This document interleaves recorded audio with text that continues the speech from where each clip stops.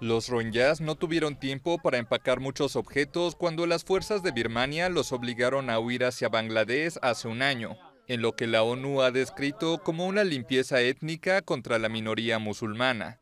Algunos se fueron con solo un poco más de la ropa que vestían, pero lo que lograron llevarse cuenta una historia íntima del recorrido de este perseguido pueblo. Halal, por ejemplo, tomó la placa con el número de su casa pensando en el futuro. Esta es la placa del número de mi casa. En mi país, cada casa tiene una de estas placas. Cuando nos íbamos, sabía que necesitaríamos algo para probar que éramos Rohingyas, una prueba de nuestra residencia.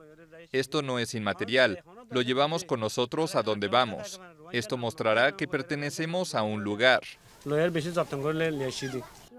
Mohamed, de 12 años, también quiere regresar a casa. Por eso decidió traer consigo una fotografía que muestra a 17 miembros de su familia.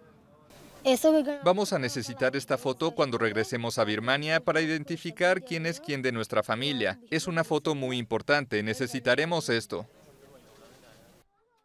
Azaru, por su parte, sabiendo que el viaje sería largo, empacó lo necesario para cocinar. Traje las ollas para cocinar a los bebés en el camino. Solo teníamos arroz y chiles verdes para alimentarlos cada dos días. De otro modo tendrían mucha hambre y llorarían. Así que hacíamos arroz en las ollas.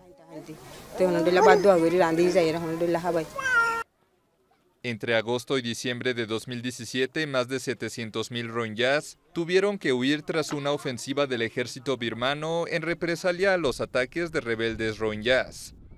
Los miembros de esta minoría musulmana son considerados como inmigrantes ilegales, por lo que no tienen ciudadanía ni derechos básicos en Birmania.